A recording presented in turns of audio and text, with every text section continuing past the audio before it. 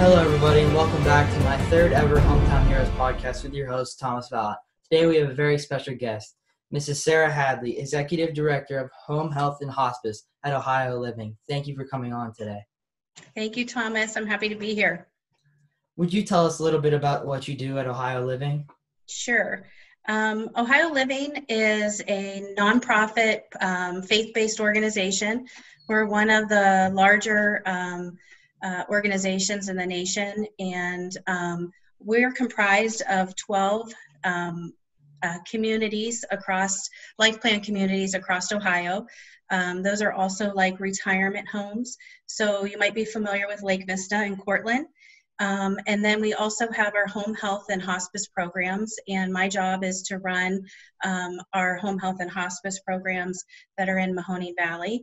I have about eight counties that I oversee, and our senior center that's in Youngstown, and also My Independence program that works on the Lake Vista campus. Thank you.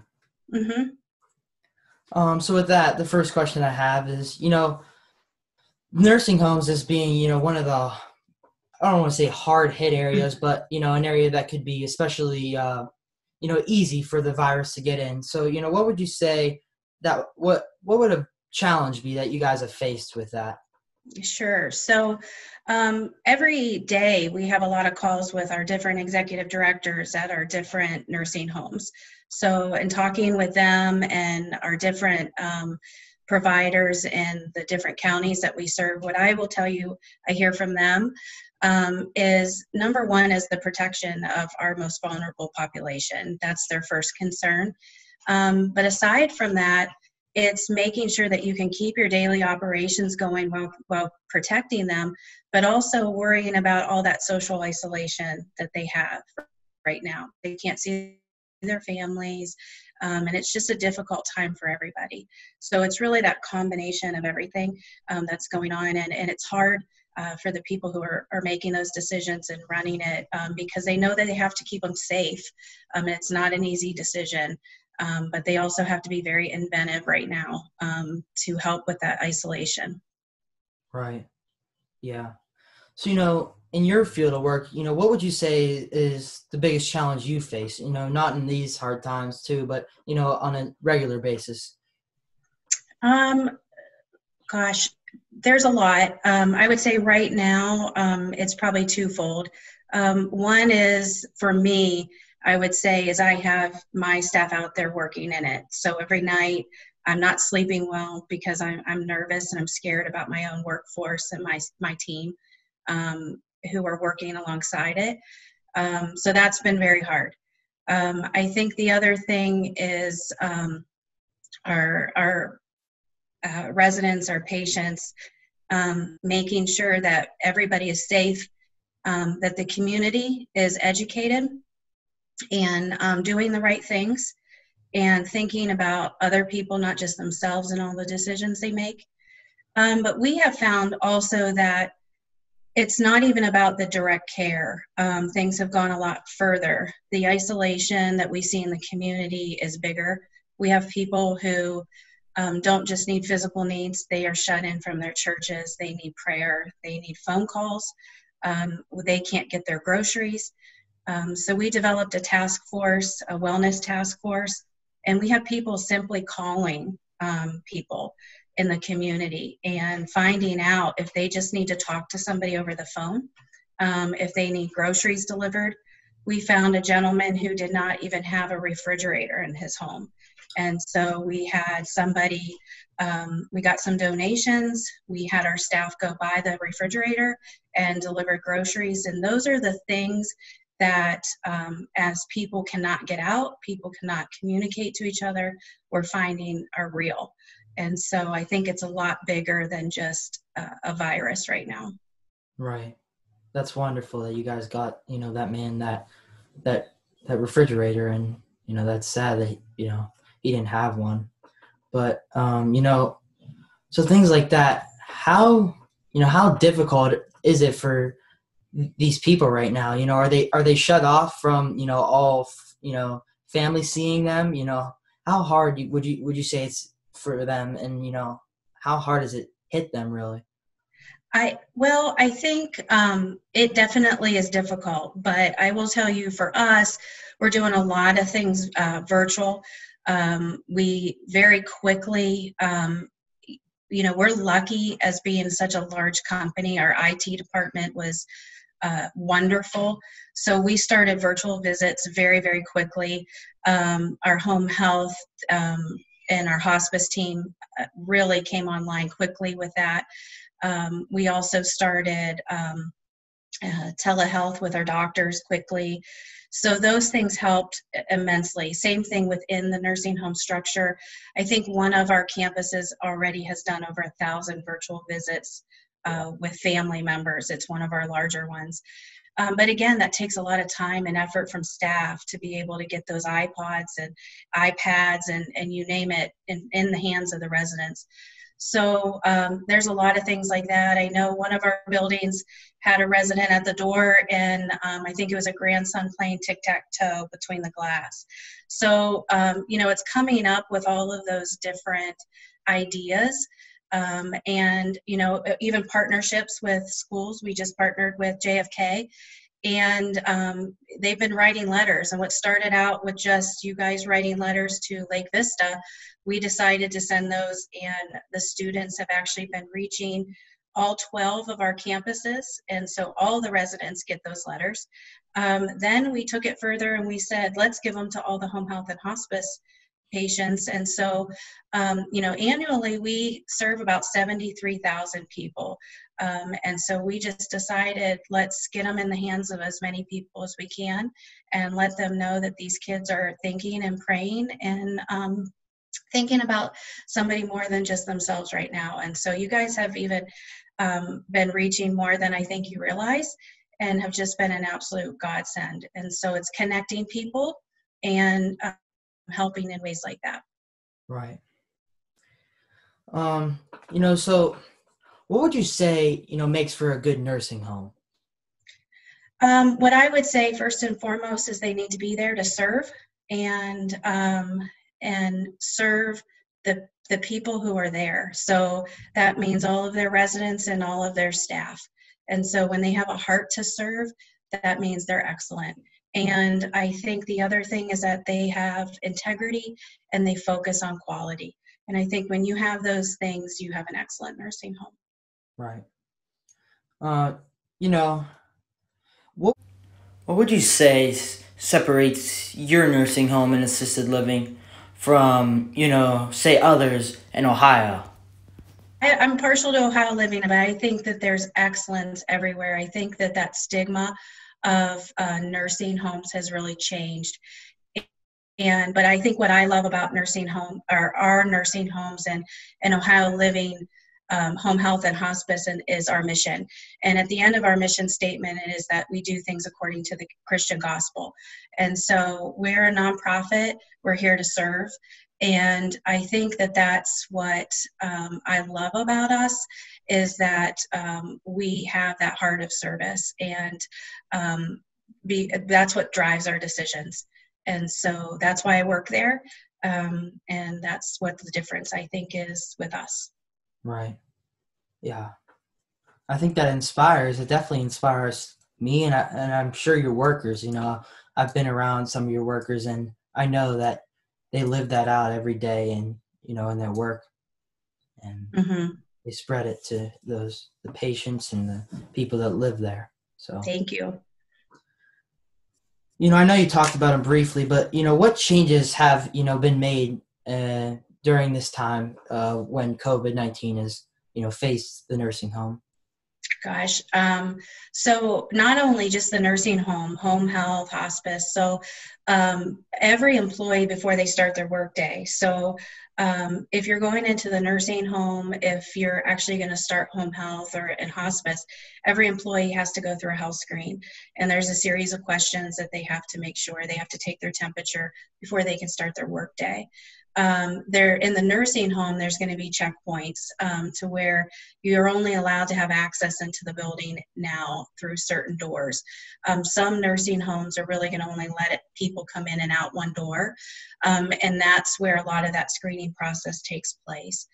Um, also in home health or hospice if someone's coming into the home there's going to be screening um, questions that are asked of that family or that home before they even enter um, and based on the um, answers are going to be the different types of ppe that that staff would wear before they actually even step foot into the home um, if um, you are in the nursing home, what you're going to find is there's a lot of differences in terms of um, the residents congregating.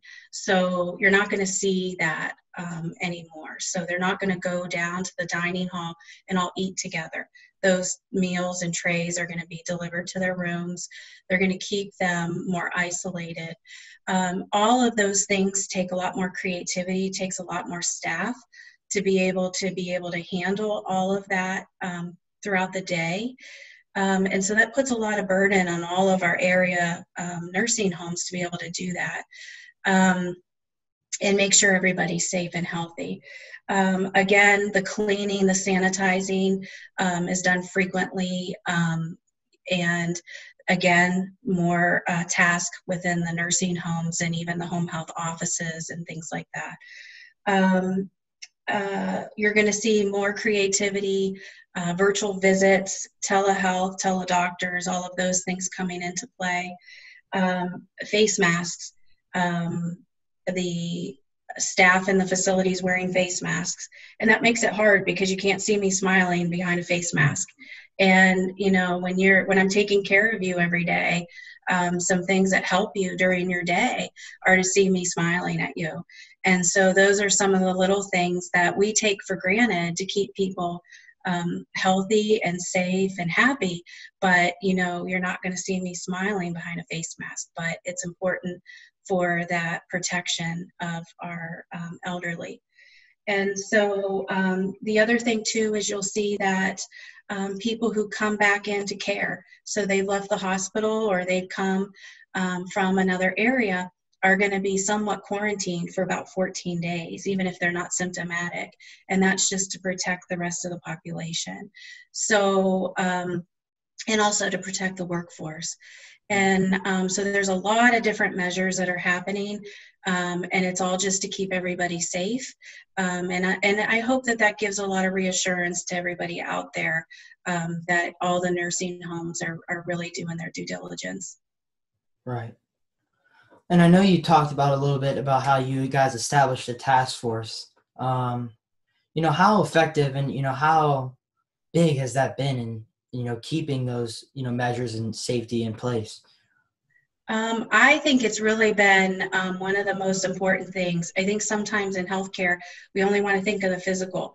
But if we don't focus on the psychosocial and the spiritual, um, we're really not doing a great job. It really needs to be holistic care. And so um, I could have my nurses and therapists go out there every day, but if we're not connecting and getting that um, spiritual piece to those um, people in need, um, there's going to be a missing piece. They're going to become depressed. Um, we're seeing that there's a lot of that happening, a lot of anxiety. So, my social workers are offering a lot of counseling over the phone. The other thing that we also changed um, recently was our bereavement program. Um, we saw that our widows and widowers needed a lot more help and a lot more need than what we typically had before because of the isolation. They became even more isolated than ever before. So we began reaching out to them on a weekly basis um, to see if they needed um, more resources. And again, if they didn't have anybody to get the groceries. We started working with area food banks and delivering and dropping off uh, food to their porch and things like that. So um, it all goes hand in hand. I don't think we can just do one part. It all has to come together if we really want our community to be healthy. Right. You know, I know you just talked about that a little bit, but you know, what has the reaction really been among the people that are living in assisted living in the nursing homes you know depression you know has that been a huge factor you know what other types of you know i don't know what you would say but you know characteristics or you know what have you seen you know among those patients sure so i think sometimes um you know, everybody has different personalities. So let's say um, when some of my my kids were born, maybe one of them was, you know, stubborn or um, had these different characteristics, and those are characteristics that are going to stay with anybody their whole life because it's just their personality. But I do think that there's different things that generations have. And what I will tell you that our seniors have, our senior generation has, is respect. Um, they have resilience. They have wisdom. And I think that although maybe in the beginning there was a lot of fear, um, I do think that they're a generation that we can learn a lot from. And they're a generation that is respectful to decisions. Even though they may not like them, they respect them. And I think that uh, they respect authority and leadership, and they don't necessarily challenge it, but they do what they're told to do because that's how they were raised. And um, I also believe that if you want to hear stories or understand people who have been through adversity and really truly know how to live through it, and you ask them. And I think that there's lots of wisdom right now that we can learn from them um, and know how to get through these difficult times. There was a moment that I had through this that I was um, all of a sudden my grandmother came to mind and um, when she was on hospice care um, she wanted a sandwich and when she got done eating her sandwich she had maybe one or two bites left and she told me to wrap it up. She'd eat it later. Anybody in my generation younger and maybe even a little older would have probably just thrown it away because it was one or two bites. She lived through the depression and to her you wrapped it up and you ate it later.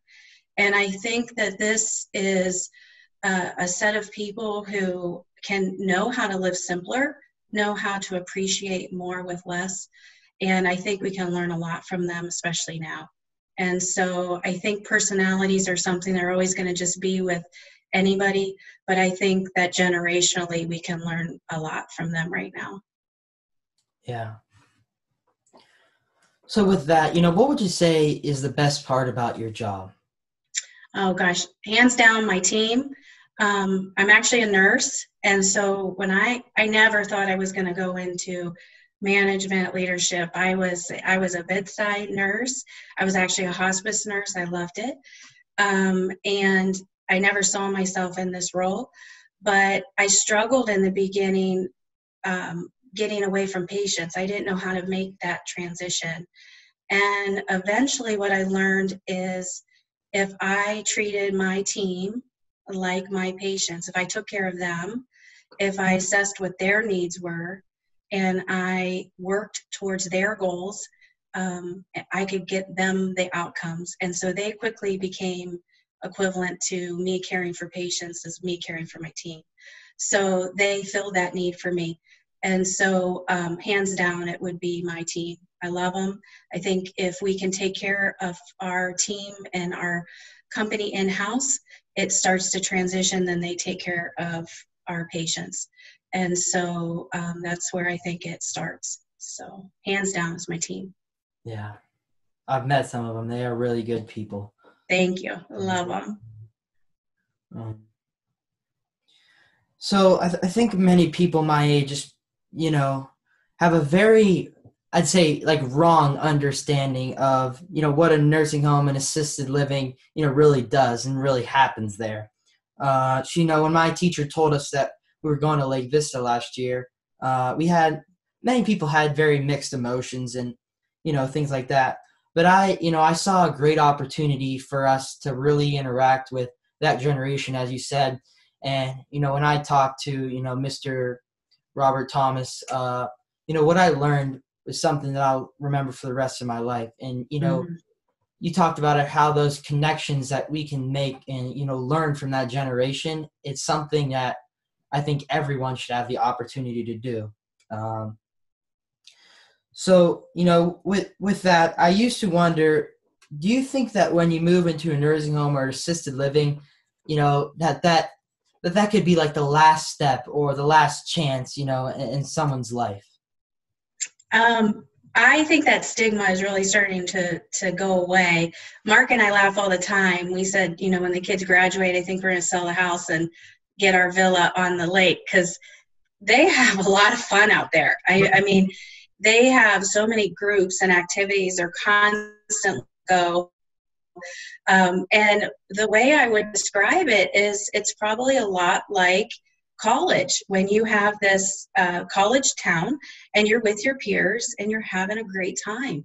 Um, and that's really it's a community. It's a community of your peers. And um, they're doing things together um, that everybody enjoys. And the one thing um, the my independence program that we have out there is for those independent residents to remain independent. And it's important for them to do that and we know that they're going to age and they're going to have needs as they age, um, but it's important for them to stay independent. And um, and they want to age in place. So they, if they move into Lake Vista, they want to stay there. They want to stay amongst their friends um, and in an environment that's familiar. And so they may transition from the villa to the apartment building to the assisted living and then maybe the long-term care but at least it's an environment that is familiar and it's staff that are familiar. And so um, i really wouldn't say it's kind of like giving up or the end. Um, and then a lot of times my team is able to come in and anchor onto that through home health or hospice care. And it's just really a huge family and it's a beautiful thing and um, but we mark and i laugh all the time because we just said you know how soon or what's the age requirement that we could just get out there because it'd just be a lot easier. Um, but you know they do. They have a great time. And i think you guys as students were surprised. I think you were gonna you thought maybe you're gonna go in and you know push some people around in wheelchairs and you know feed people and sit at beds. And i think you were pleasantly surprised that it wasn't like that. And I will tell you, the residents this day uh, just still talk about it. It was one of the favorite things that they get to do is is share their life um, with you and hear about everything that you guys are doing now. So um, we love it. We love that opportunity that we have with you guys. Thank you. Um, you know, like you said, some people, you know, don't think it like that, but like spending the rest of your life there as you said that you know that's a gift to many people as you have many programs you have mm-hmm. all these activities you know even for people that are are you know not close to dying but are you know just just to be there i guess you could say is something that even that i saw is was a great experience and i know those people you know are enjoying that and, and loving every minute of that mm-hmm. yeah yep you know all those programs you guys have bingo, you know, all those things that that just really, you know, put a smile on those people's faces, you know, especially in times like these, you know, that they'll remember. Yep. And that, and I think that's great. Thank you. So the last question I have for you is, you know, hearing about those hardships as some as we talked about a little bit, like war or the depression, you know, hard family life or working jobs as a young teen. You know, how has your job impacted your life? Um, well, so how I got into what I'm doing is probably, I probably should start and explain that a little bit. I was, um, I, I started out in college going, my first decision in that was really based on um, softball. I had picked a school for that whole purpose. And um, when I got there, I realized I was going for a degree I really didn't want to do. I was in a location I didn't want to do. And when you're 18, a lot of times you're not, you don't know how to make that choice. And so I had to rethink it all. And um, I went back and I changed schools and I went back for nursing. I knew nursing was really what I wanted to do. And, um, but as I was finishing up my nursing um, degree, all of my friends knew exactly the area of nursing they wanted to do except for me. So then I started panicking again and I said, What am I going to do with this nursing degree? All my friends know what they want to do, but I don't. And um, Mark and I had gotten married. We did things maybe a less traditional way, and sometimes that was a lot harder, but I don't regret it at all. And he was raised with his grandparents a lot, and they were very influential in his life. And we, um, I had the very um, fortunate experience to um, help his grandfather when he was on hospice care. It was my last year in nursing school. And that experience changed my life hands down. And during that time, um, it was very emotional, um, not much sleep. But there was a nurse who came in, her name was Ruth, and I said, I want to be Ruth someday. I knew that was exactly what I wanted to do. And we had a conversation about two o'clock in the morning, his grandpa and I. He said, Kiddo, you're gonna be one heck of a nurse someday. And I don't know whether or not I did or didn't, but that just that moment stuck with me. And when I first graduated, I went into the ICU, and then there was a job opening in hospice. And as I was interviewing for this job, um, the door opened and a nurse walked in, and it was Ruth. And she goes, I know you. And I said, I know you too. And needless to say, I got the job. And I kind of felt like it was divine. But ever since that moment, it was, it, it has really been that experience with um, his grandfather. And it, every patient, every that we care for, um, you know, I know what it's been like to be that family member. I know what it's been like to be that nurse. I know what it's been like um, to be an administrator of it. I know what it's it's like to run it. So um, I try to take myself into each experience, and and he's really a catalyst for for all of that. And um, and I'm thankful for that time. Um, and every patient to me is is in his memory. And so um, I've also had my grandmother on care and been able to set up a program kind of in memory of her. And so I want families to have that same opportunity. And so I would say um, those things are what shaped me. Those things continue to shape me hearing other people's stories, being able to be with them, that really is what um, you know I think it's all about. And I just we get one chance to do it right, and um, I want my team to be able to uh, do what it, what they can to help people. It's really a privilege. Um, and an honor to be invited at that time uh, with families. And, um, you know, it's a very sacred time. And um, you know that's what we want to do is we're not here to take over but we're just here to help and uh, serve and so i think that um, that's the the blessing is that i get to be with those families in in the same way that somebody was able to do it for me. Right. You know how you know would you say that the faith part of you know your you know the aspect of that has really helped you and you know helping you know your patients or you know your you know people in the nursing home and, you know how you know like i said how has that helped you and, and them um, absolutely. Um, i think that you know not every decision is easy. Um, i try to tell myself a lot of times when i'm making a decision what would christ do? And and stick with that. Um, you know, not every decision I make people are going to like, um, but I really try to hold on to that and hold on to those values. Um, you know, we're here to love people, serve people, um, and I think when we realize that we were all created in His image, we are taught that we're not given every trait of, of Christ, but we're given something. And when we use that piece to serve um, amazing things can happen.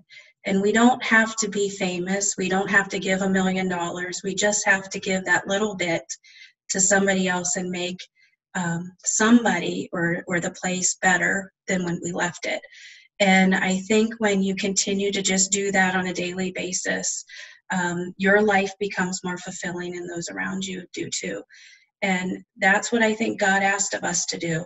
Um, and I, I, think there's a lot of similarities probably um, through uh, Ohio Living and JFK. Um, you guys are really called to serve your community and God, and um, we have a lot of those same uh, faith um, based uh, values. And I think that that's how our connection through the intergenerational project and the letter writing began, is because um, I think it's a very connected uh, mindset uh, through Christ. Right. Well, thank you so much for being on the show today. I really appreciate it. You and all your staff are the heroes of today. And I know that. Thank you. This. Thank you. You're an amazing individual. You just keep doing what you're doing, okay? Thank you. You're welcome. Take care. Proud of you. I said, I'll hello. I, I will. Take care. Thank you. You're welcome. Thank you, everybody, for watching my third episode of Hometown Heroes. In honor of the intergenerational project and all the projects that will be influenced by, you know, I hope that are influenced by, you know, our school, you know, interacting with the later generations. Here is a commemorative video of my time spending with Robert Thomas and all the st- all the patients at Ohio Living Lake Vista. See you next time.